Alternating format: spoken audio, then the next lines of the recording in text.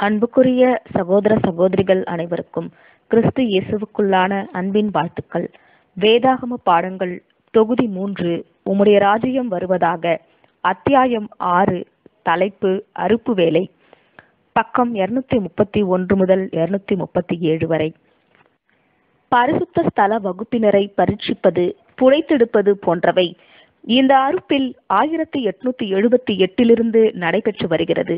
இது நம்முடைய ஆண்டவர் நிழலான ஆலயத்தை நிழலாக சுத்திகரித்து அவர் ராஜாவாக வந்து பெயரளவில் உள்ள யூத ஆலயத்திற்கு எதிராக நியாய தீர்ப்பு கூறுவதற்கு அடையாளமாக உள்ளது. அவர்கள் வீடு பாழாக்கப்படும் என்று அறிவித்த பின்னர் அவர் எருசலேமில் உள்ள ஆலயத்திற்கு சென்றார். இது உண்மையான ஆலயம் அல்லது பரிசுத்த ஸ்தலத்திற்கு அடையாளமாக இருக்கிறது. அவர் அங்கே ஒரு சாட்டையை உண்டு பண்ணி காசுக்காரருடைய பலகைகளையும் புறா விற்கிறவர்களின் ஆசனங்களையும் கவிழ்த்து போட்டார். நிழலான சாட்டை பல்வேறு சத்தியங்களை காட்டுவதாக இருக்கிறது. இது தற்போதைய அறுப்பின் போது பரிசுத்த ஸ்தல வகுப்பினர் மத்தியில் அவர்களை திருத்த கண்டிக்க அசுத்தமானவர்களை பிரித்தெடுக்க உபயோகிக்கப்பட்டது. இப்பொழுது வெளிச்சத்திற்குள் கொண்டு வரப்பட்டுள்ள சத்தியங்கள் தேவனுடைய பூரண சித்தத்தை தெளிவாக காட்டுகிறது.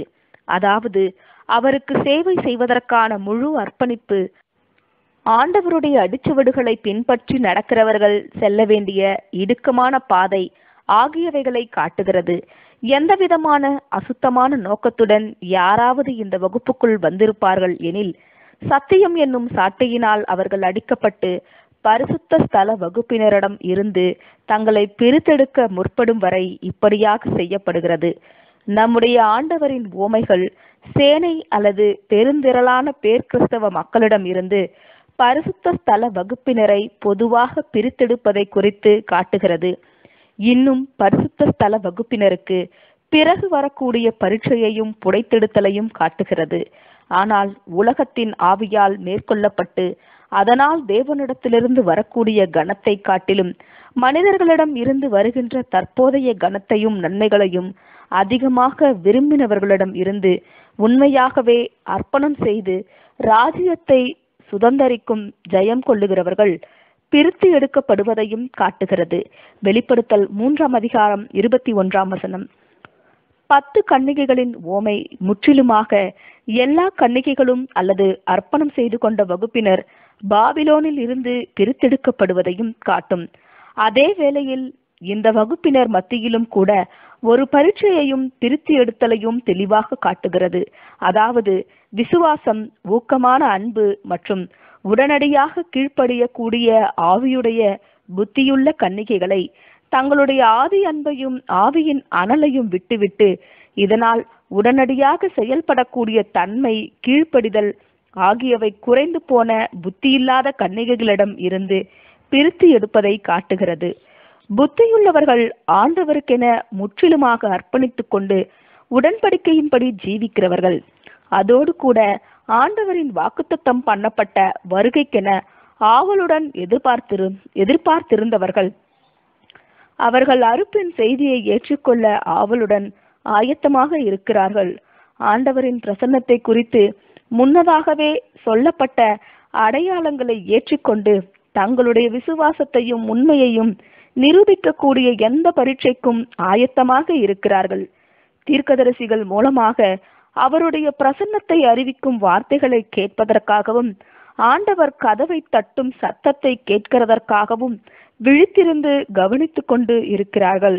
அவர்களுக்கு தற்போதைய இழப்புகள் சுமக்கும் சிலுவைகள் சத்தியத்திற்காக சுமக்கப்படுபவைகள் ஆகியவைகள் வருங்காலத்தில் வருகின்ற நித்திய சமாதானத்திற்கு மகிழ்ச்சிக்கு மகிமைக்கு ஆசீர்வாதத்திற்கு முன்னோடியாக வரவேற்கப்படுகிறது. ஆயிரத்தி எட்நூத்தி எழுபத்தி நான்காம் ஆண்டு இலையுதிர் காலத்தின் போது ஆண்டவருடைய பிரசன்னத்தை குறித்த தீர்க்க தரிசன அறிவிப்பை கேட்டபொழுது அது உடனடியாக அறிந்து கொள்ளப்பட்டது. உடனடியாக இதோ மணவாளன் அவருக்கு எதிர்கொண்டு போக புறப்படுங்கள் என்கிற சத்தம் உண்டாயிற்று. இந்த சத்தம் இன்னமும் செல்கிறது. இன்னமும் அர்ப்பணம் செய்து கொண்ட கன்னிகைகள் அனைவரும் கேட்டு அவர்களுடைய விசுவாசமும் நம்பிக்கையும் சோதிக்கப்படும் வரை அது தொடரும். விலக்குடன் தேவனுடைய வார்த்தையுடன் உள்ள கன்னிகைகள் எண்ணெய் பரிசுத்த ஆவி ஊற்றப்பட்டு திரி தூண்டிவிடப்பட்டு எரியும் போது தங்களுடைய பாத்திரங்களில் தங்களுடைய இருதயங்களில் என்னையோடு இருக்கும்போது அனைவரும் ஆண்டவருடைய பிரசன்னத்தை உணர்ந்து கொள்ளுவார்கள். தங்களுடைய நடவடிக்கைகளையும் காரியங்களையும் விசுவாசத்திற்கு ஏற்ப வைத்துக்கொண்டு பிரியமுள்ள மணவாளனை சந்திக்க சென்று கல்யாண விருந்தில் அவரோடு உட்காரவும் செய்வார்கள். யூதர்களின் கல்யாண முறை சபையின் அவளுடைய ஆண்டவராகிய கிறிஸ்துவோடு கூடிய நிச்சயதார்த்தம் திருமணம் என்பதற்கு நல்ல விளக்கமாக உள்ளது. நிச்சயதார்த்தம் அல்லது நியமிக்கப்படுதல் என்பது உண்மையான பயபக்தியுடன் கூடிய உடன்படிக்கையாகும். நிச்சயதார்த்தத்திற்கு பிறகு சாதாரணமாக ஒரு வருடத்திற்கு பிறகு மணவாளன் வீட்டிற்கு அழைத்து செல்லப்படும் வரை மணவாட்டியானவள் தனது தகப்பன் வீட்டில் இருக்க வேண்டும். கல்யாணம் என்பது அவளுடைய புருஷனால் அவளுக்கென்று ஆயத்தம் பண்ணப்பட்ட வீட்டில் ஏற்றுக்கொள்ளப்படுவதாகும். கல்யாண விருந்து என்பது பல நாட்களுக்கு நடக்கும். குறிப்பிட்ட நேரத்தில் மணவாளன் தன்னுடைய மணவாட்டியை சந்திக்கும்படி புறப்படுகிறான். மணவாட்டி தன்னுடைய கன்னிகையான தோழிகள் விளக்குகளோடும் எல்லாவிதமான ஆயத்தங்களோடும் தன்னை பின்தொடர்ந்து வர மணவாளனை ஏற்றுக்கொண்டு அவனோடு அவர்களது வருங்கால வீட்டிற்கு செல்லவும் விருந்துக்கும் ஆயத்தமாக இருக்கிறாள். உவமையில் மணவாட்டியை குறித்து ஒன்றும் சொல்லப்படவில்லை. மணவாளன் வரும்போது அவனோடு சென்று உட்பிரவேசித்து எல்லா விருந்துகளிலும் பங்கு பெறும் புத்தியுள்ள கன்னிகைகளை குறித்து சொல்லப்பட்டுள்ளது. இது சரியானதும் அவசியமானதும் கூட. ஏனெனில் கிறிஸ்துவின் மனவாட்டு என்பது அநேக தொகையினரை குறிப்பதாகும். இது புத்தியுள்ள கன்னிகைகள் என்று மிக அழகாக குறிப்பிடப்பட்டுள்ளது. புத்தி இல்லாத கன்னிகைகள் பின்னர் வெளிச்சத்தையும் அனுபவத்தையும் பெற்றுக்கொள்கின்றனர். ஆனால் புத்தியுள்ள விசுவாசமுள்ள மணவாட்டி வகுப்பினரின் உயர்வான பதவியை பெற்றுக்கொள்ள தவறி விடுபவர்கள்தான். நாற்பத்தி ஐந்தாம் சங்கீதம் பதினான்கு பதினைந்தில் உள்ள அவளுடைய தோழிகளாகிய கன்னிகைகள் அவளை பின்பற்றி வருபவர்கள் என்று சொல்லப்பட்ட வகுப்பினர் ஆவர். ஏற்ற வேளையில் ராஜாவினால் அவள் நன்மை பெறுவாள். ஆனால் அவ்வளவு அதிகமாக அல்ல. புத்தியுள்ள கன்னிகைகளின் மனோபாவம் மற்றும் மணவாளனின் வருகைக்காக ஆயத்தமாகி அவளுடன் காத்து கொண்டிருப்பது ஆகியவை சரியான விதத்தில் ஆண்டவருக்கு நிச்சயம் பண்ணப்பட்டிருக்கிற உண்மையான அர்ப்பணம் செய்து கொண்ட சபைக்கு அடையாளமாக இருக்கிறது.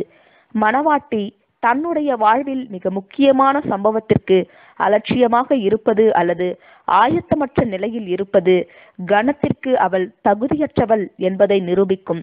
அதே நிலைதான் சபையோடும் கூட அவர் அவர் மேல் இப்படிப்பட்ட நம்பிக்கை வைத்திருக்கிற எவனும் தன்னை சுத்திகரித்துக் கொள்ளுகிறான்.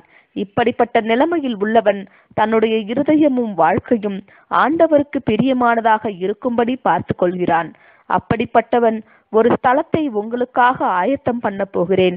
நான் மறுபடியும் வந்து உங்களை என்னிடத்தில் சேர்த்து கொள்ளுவேன் என்று சொன்னவரோடு இணைந்து இருக்கும்படியாக ஆவலுடன் காத்து கொண்டிருப்பதோடு அவர் வாக்குத்தத்தம் பண்ணின விருந்துக்காகவும் காத்திருப்பான். உவமையிலிருந்து இரண்டு காரியங்கள் விளங்குகின்றன. ஒன்று இந்த விசேஷித்த சத்தியம் மணவாளனின் பிரசன்னத்தை குறித்த அறிவு. இது பொதுவான உலகிற்கோ பொதுவான பேர் கிறிஸ்தவ சபைக்கோ அல்ல. ஆனால் கன்னிகையான அல்லது அர்ப்பணம் செய்து கொண்டவர்களுக்கு மட்டுமே ஆகும். இரண்டாவது மணவாளன் பிரசன்னமாகி இருக்கும் செய்தி பிரித்து எடுக்கப்படுதலை விளைவிக்கும். இது கன்னிகையான வகுப்பினரை சேர்த்த ஒவ்வொரு நபரையும் பரீட்சித்து நிரூபிப்பதோடு உண்மையற்ற புத்தியற்ற கன்னிகைகளிடம் இருந்து புத்தியுள்ள உண்மையுள்ள தகுதியுள்ள கன்னிகைகளை வெளிப்படுத்தி தெளிவாக காட்டும். இதோ மணவாளன் என்கிற மகிமையான செய்தியில் எவ்வளவு அதிகமான கிருபை அடங்கி இருக்கிறது தற்போது இந்த பெரிய ரகசியம் பரிசுத்தவான்களுக்கு மாத்திரம் தெரிந்துள்ளது. உலகம் அதனை பெற்றுக்கொள்ளாது. அதற்கு அது பைத்தியக்காரத்தனமாக தோன்றுகிறது. எல்லா கன்னிகைகளும் கேட்கும் மட்டும் அப்படியாகத்தான் இருக்கும். கதவு அடைக்கப்படும் வேலை வரை அவர்களில் புத்தியுள்ளவர்கள் முழுவதுமாக நுழையும் வரை அப்படித்தான் காணப்படும். அதன் பின்பு உபத்திரவ காலத்தின் ஜுவாலித்து எரிகிற அக்னி எல்லா கண்களும் ஆண்டவருடைய பிரசன்னத்தையும் அரசாட்சி துவங்கியிருப்பதையும் காணும்படி செய்யும். எவ்வளவு கனிவுடன் கிருபையின் எகோவாவின் செய்தி அவருடைய தாழ்மையுள்ள வேலைக்காரர்களுக்கும் வேலைக்காரிகளுக்கும் வருகிறது. நாற்பத்தி ஐந்தாம் சங்கீதம் பத்து பதினோரு வசனங்கள். குமாரத்தியே கேள் நீ உன் செவியை சாய்த்து சிந்தித்துக்கொள். உன் ஜனத்தையும் உன் தகப்பன் வீட்டையும் ஆதாமினுடைய வீட்டையும் மனுஷீக உறவுகள் நம்பிக்கைகள் ஆவல்கள் எதிர்பார்ப்புகள் யாவற்றையும் மறந்துவிடு. அப்பொழுது ராஜா ஆண்டவராகிய இயேசு உன் அழகில் பிரியப்படுவார். அவர் உன் ஆண்டவர் ஆகையால் அவரை பணிந்து கொள் யார் இப்படிப்பட்ட நன்மையை பெறக்கூடும்? அவர்கள் அழைக்கப்பட்டவர்களும் தெரிந்து கொள்ளப்பட்டவர்களும் உண்மையுள்ளவர்களுமாய் இருக்கிறார்கள். ராஜகுமாரத்தி எகோவாவின் குமாரத்தி இப்படிப்பட்டவள். கிறிஸ்துவின் மணவாட்டி உள்ளாக பூரண மகிமை உள்ளவள் அவளுடைய அழகு பரிசுத்த அலங்காரம் வெளிப்படையாக உலகிற்கு முன்பாக அவள் மகிமையானவள் அல்ல. அவளுடைய ஆண்டவர் கனவீனப்படுத்தப்பட்டது போல அவளும் மனிதரால் கேவலப்படுத்தப்பட்டு நிராகரிக்கப்படுகிறாள். ஆனால் அவள் எப்பொழுதும் அப்படி இருப்பதில்லை. அவருடைய நிந்தையில் அவள் பங்கு பெற்றது போன்று அவருடைய மகிமையிலும் அவள் பங்கு பெறுவாள். ஒரு புது சிருஷ்டியாக ஏற்ற காலத்தில் அவருடைய திவ்ய சுபாவத்தில் அவளும் தருப்பிக்கப்படுவாள். அவள் உடை மகிமை அடையும் போது பொற்சருகியாக இருக்கிறது.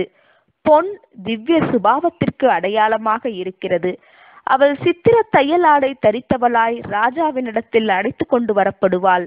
அவளுடைய ஆண்டவரால் கொடுக்கப்படும் எளிமையான வெள்ளாடை அவளுடைய நீதியின் வஸ்திரமாகும். அதை அவள் ஜாக்கிரதையாக கிறிஸ்தவ கிருபைகளோடு அணிந்து கொள்ளுவாள்.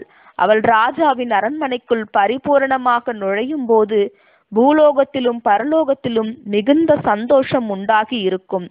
இரண்டு பேதுரு ஒன்றாம் அதிகாரம் ஐந்து முதல் எட்டு வசனங்கள் மற்றும் பதினோராம் வசனம். அநேகர் கூறுவார்கள் நாம் சந்தோஷப்பட்டு களி கூர்ந்து அவருக்கு துதி செலுத்த கடவோம். ஆட்டுக்குட்டியானவருடைய கல்யாணம் வந்தது. அவருடைய மனைவி தன்னை ஆயத்தம் பண்ணினாள். வெளிப்படுத்தல் பத்தொன்பதாம் அதிகாரம் ஏழாம் வசனம். தீரு குமாரத்தி காணிக்கை பூமியில் உள்ள பலவான்கள் கொண்டு வருவாள். ஜனங்களில் ஐஸ்வர்யவான்களும் உன் தயவை நாடி வணங்குவார்கள். உமது நாமத்தை எல்லா தலைமுறைகளிலும் பிரஸ்தாபப்படுத்துவேன். இது நிமித்தம் ஜனங்கள் உம்மை என்றென்றைக்கும் உள்ள சதா காலங்களிலும் துதிப்பார்கள். நாற்பத்தி ஐந்தாம் சங்கீதம் பனிரெண்டு முதல் பதினேழு வசனங்கள். இதனை தொடர்ந்து வரும் பகுதிகளை பக்கம் இருநூத்தி முப்பத்தி ஏழு முதல் அடுத்த பாகத்தில் காணலாம்.